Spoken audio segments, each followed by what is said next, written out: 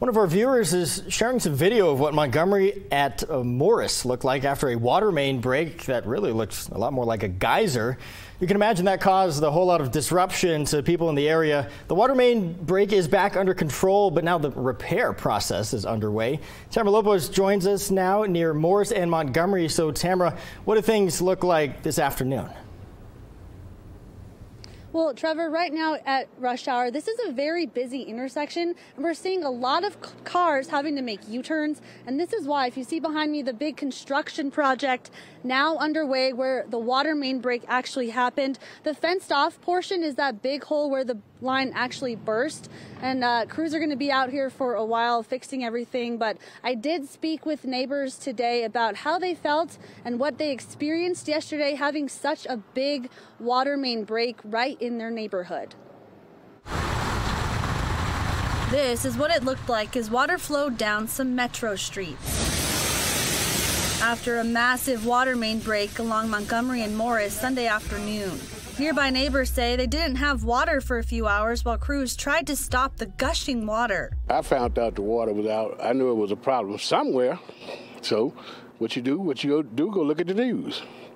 And the news tell you what's going on. Albuquerque fire rescue crews were out trying to stop the break, but not before a house was hit by the high pressure water shooting out of the pipe, forcing some of their stuff from the garage into the street. Monday, you could see the damage more clearly. Crews were out starting the repair process, digging around the rest of the pipe.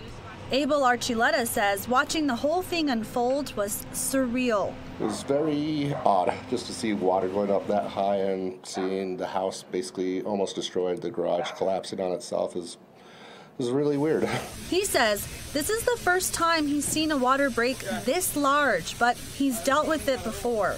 This is not the first time where the there's been a water main break on Montgomery and Morris, so it's happened before, twice actually within the year. So a water authority spokesperson says this water main pipe that burst is from 1973, and the cause seems to be a tap made in the mid 80s. And we asked about the damage to the home nearby. When situations like this occur, uh, our risk management department takes over and will work with the property owners to ensure that they're made whole.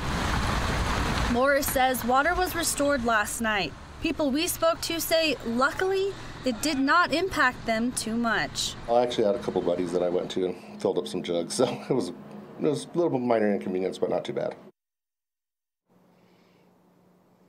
So actually, just before the show, we did get word from someone who knows the homeowner with the damaged garage that their service dog is still missing. It's a big black dog named Ivy, and she is microchipped. The homeowner says that there is a reward for anyone who finds her. So we'll put the information and pictures about Ivy on our website. But in the meantime, the Water Authority says that the fixing of this and repairing of the project could could take up to about a week.